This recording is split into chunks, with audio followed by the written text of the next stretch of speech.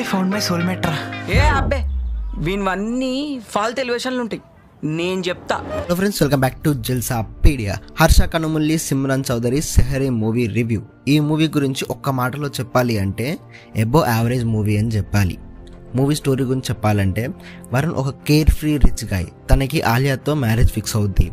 ఆ మ్యారేజ్ పనుల్లో అన్ని చూసుకోవడానికి తన సిస్టర్ వస్తుంది. సో అమూల్యాన్ని చూడగానే మన వరుణ్ లవ్లో పడతాడు. సో పెళ్ళి క్యాన్సిల్ చేసుకోవాలి అనుకుంటాడు. మొత్తానికి పెళ్ళి క్యాన్సిల్ చేశాడా లేదా? అమూల్య ఏం చేసింది?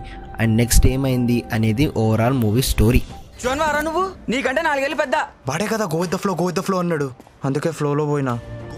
సో ప్లస్ పాయింట్స్ విషయానికి వస్తే హర్ష కనుమూలి యాక్టింగ్ సూపర్ అని చెప్పాలి. ఒక ఎక్స్పీరియన్స్ యాక్టర్లా చేశాడు. అండ్ ఫస్ట్ హాఫ్లో కామెడీ చాలా వర్కౌట్ అయింది.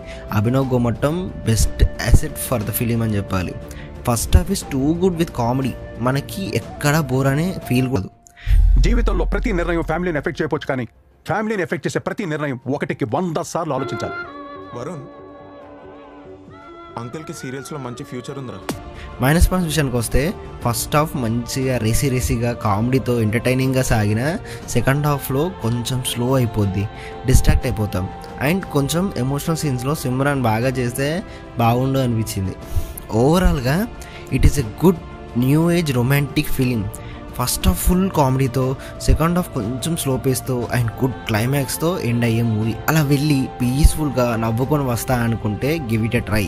దీనికి మనం ఇచ్చే rating three by five and so that's guys ఈ వీడియో కనుక లైక్ చేసి షేర్ చేసి సబ్స్క్రైబ్ చేయండి. కొంచెం నన్ను ఎంకరేజ్ చేయడానికి ఇదే వీడియోని జస్ట్ అలా షేర్ చేయండి. అది మీకు వన్ సెకండ్ కూడా పట్టకపోవచ్చు బట్ నాకు చాలా హెల్ప్ అవుతుంది. That's guys lung out Jalsa pedia